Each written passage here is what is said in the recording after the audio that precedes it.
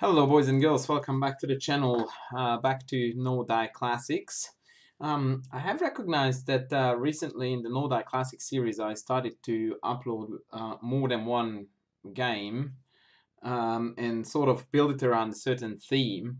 And I think that we actually lost a little bit of the essence of what Know thy Classics is about because originally my intention with the series was to introduce you to very famous games that have become, for one reason or another, a classical game. And in the last two episodes of this series, instead of that take, I rather grab the motif and then uh, introduce the motif uh, by showing you games that are indeed classics. But I sort of put the horse before the cart.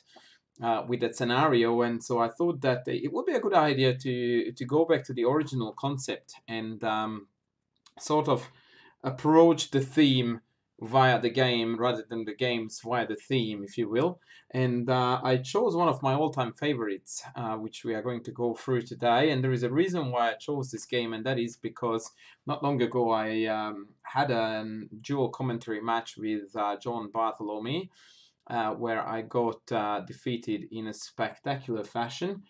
And um, not much before that uh, match took place, he uploaded onto his YouTube channel a really, really good video about the hedgehog. I'm going to give you the link of that video if you are interested uh, under below in the description so that you can check that out. And um, I found that this was a meeting point between him and I because um, I am quite keen on the hedgehog in general as well. And um, I do enjoy playing it and I do claim to know a little bit about the hedgehog structure. And I thought that it would be a good idea to bring you a game that features the hedgehog. And uh, I went back in the past a fair bit, in fact, all the way to 1972 to bring you an all-time classic uh, played by none other than Lev Polugaevsky versus uh, Lyubomir Ftacnik. Now, if you don't know these dudes, um, I just checked, on the rating list of 1972 when this game was played, was equal third, only behind Fischer, Spassky and Petrosian whereas Ftacnik uh, also peaked at uh, higher than 2600 in the 80s, some stage, I can't remember when, and uh, has been known to be a very famous theoretician, a very strong uh, all-arounder, very good player, several times Slovakian champion, uh, remarkable chess coach, and so on. And this game took place at the Luzern Olympiad between Russia or Soviet Union then and uh, Slovakia. And as you can see, this hedgehog that we are entering now is a little bit different from the one that John talked about in the sense that here the white bishop is fianchettoed, which I personally prefer to play against when I'm uh, employing um, the hedgehog because I think that the structure that uh, John video featured with the white pawns on f3 and e4 and g2 so the white pawn chain is like this they sort of make these bishops work really, really hard because unless we get d5 break in, which is one of the ultimate aims in the hedgehog, it is very difficult for this bishop to find employment. Of course, we can play around that structure because by placing the pawns like this, we can then play on this diagonal where white is somewhat weaker. And John's video is exploiting that theme, or rather talks about this theme and how to exploit that weakness really well. Nonetheless, I think uh, Black's job is a little bit easier here in this uh, fianchetto setup. That being said, there is a particular theme that pops up a lot in these variations that doesn't pop up in the f3 e4 ones and that is that white often tries to pressure this d6 pawn in a variety of ways and so black really has to be very careful with move order issues in order to avoid an immediate defeat. B3 97 so now 97 was uh, necessary. Instead if we can play castles then after bishop a3 we are, in, we are in a world of hurt.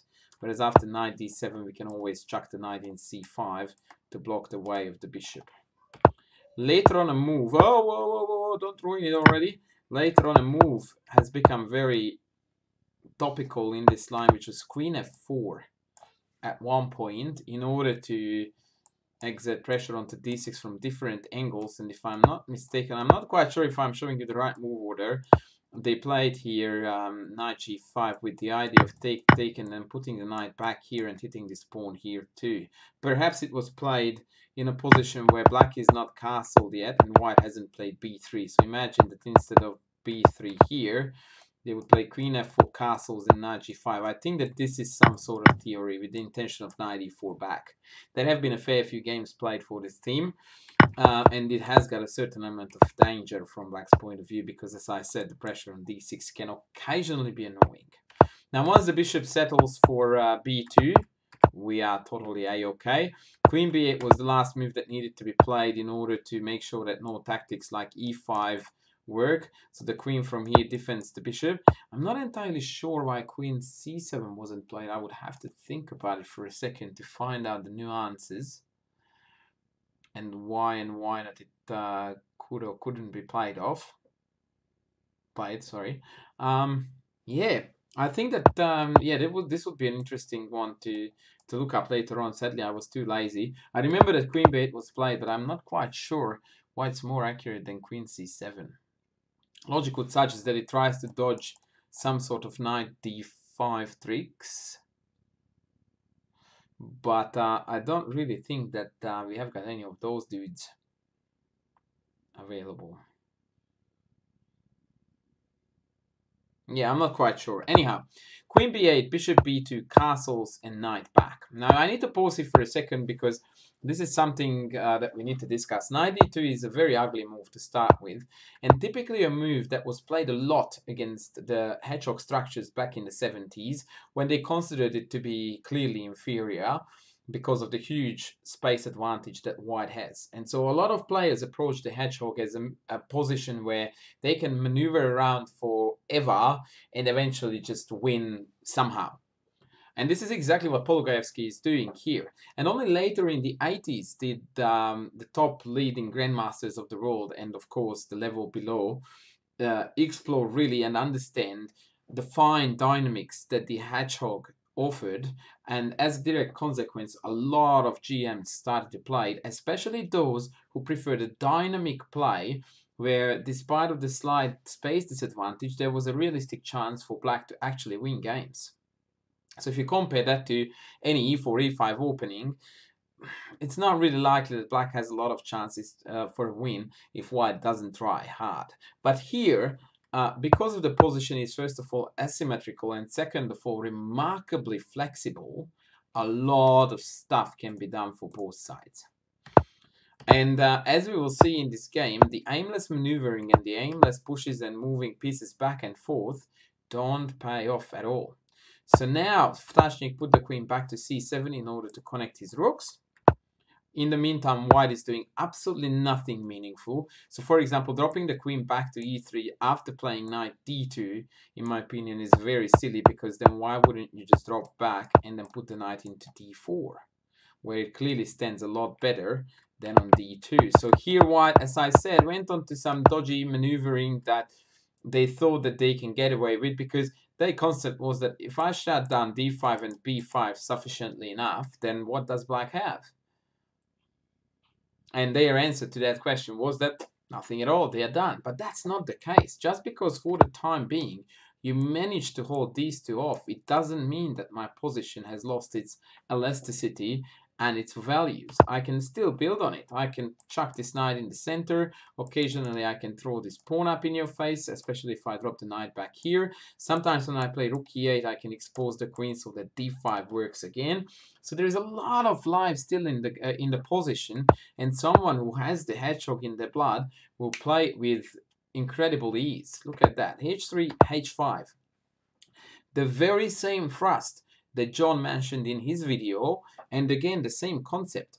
Black wants to play h4, forcing g4. So let's play a random move. And ta-da! All of a sudden, the position is full of black holes. And these squares will be very easy for white. Uh, sorry, to, for black to occupy. All the white pieces are in such clumsy positions that they can't really do anything about the invasion of the black pieces. Super annoying.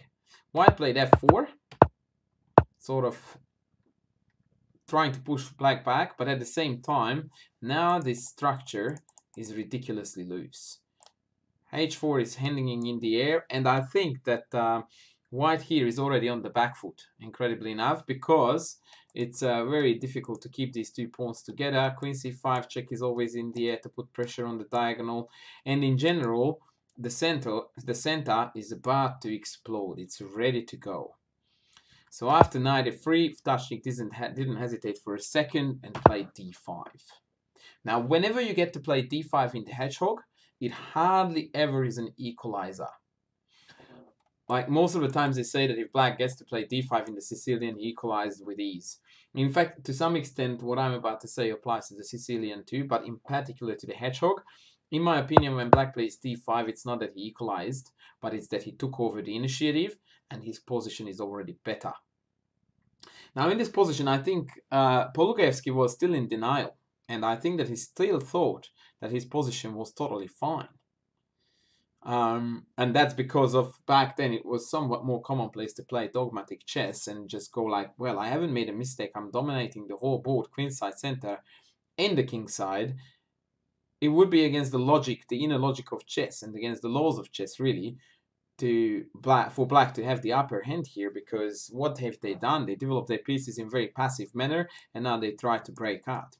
But the fact of the matter is that really white has weakened the king side dramatically. Now the diagonals that are going to open up will all hurt white an awful lot, whilst white actually can't really exploit his pace advantage.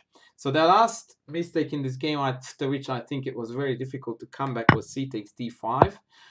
Instead, uh, Polugaevsky needed to play immediate push in to block this diagonal off. What I think he was hoping to do was to first take, forcing 3 take, and only then e5, where not only would he have the same setup, would have had the same setup that I just showed, but also he would have played against an isolated pawn on d5. Sadly, none of it was to be because after e Ftacnik very, very correctly chucked in h4 as an in-between move, and the white position is now going to collapse in a spectacular fashion. There is no way to hold the position anymore. It is beautiful that um, these two can be held properly.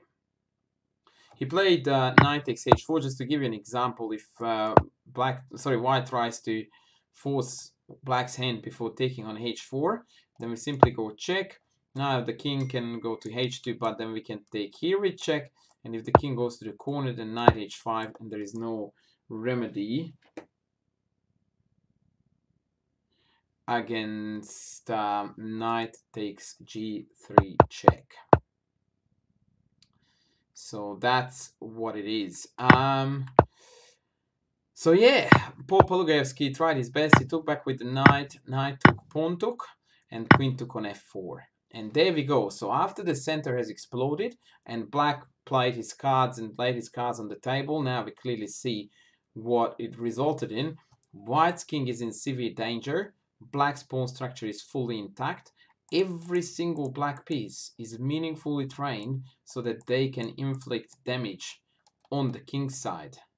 Whereas the white pieces, whilst at first sight harmoniously developed, are actually just very sad bystanders bystanders and they are just watching the inevitable. Take, take, and this is where the last, really, really the last mistake was made by Polugaevsky, although his position is already significantly worse. I think his best chance to stay in the game would have been rook f1. Instead, he played e5, following another dogma of, um, by which I don't mean to say, by the way, that Polugaevsky was a dogmatic player. I tend to be quite dogmatic more often than not. Um, but yeah, I think his mindset was all right. Let's trade some dudes and try to sur survive the storm. But he miscalculated the beautiful tactics here that makes this game such a beautiful standout. Check king here. And I think what Polugaevsky didn't reckon with was that here he saw that after queening with the intention of mate, bishop takes check and queen h2 holds. What he didn't reckon with was this spectacular lead up to the same motive. Knight h5, threatening the check and winning the queen. And only when the queen takes, which is fully forced, did he go into g3. And now simply there is no way to defend both mate threats. It's a stunningly beautiful motive. Really, really amazing stuff. So one of the main points is that if bishop takes, then we have got this very, very spectacular checkmate. So white tried his best uh, to keep things clocked up. He chucked the knight onto d5. Black took with the rook, of course. because now bishop takes still uh, results in mate and if the rook takes then we take with the bishop renewing the mate threats on both ends and now I'm threatening with check and then mate. In order to prevent this um, Polugaevsky played rook f1 pretty much the only move that makes some sense because now he's hoping to give perpetual check back and forth between f7 and g2 f7 and h5 sorry my brain is ahead of my mouth. But he overlooked the beautiful coup de grace, which was in this queen sacrifice. And after, actually, I think he, he resigned here, but uh, the beautiful finish would have been king takes, double check, king up, check, king up, rook here, queen blocks either here or here, it doesn't matter, and checkmate. A truly amazing finish to a really, really lovely example.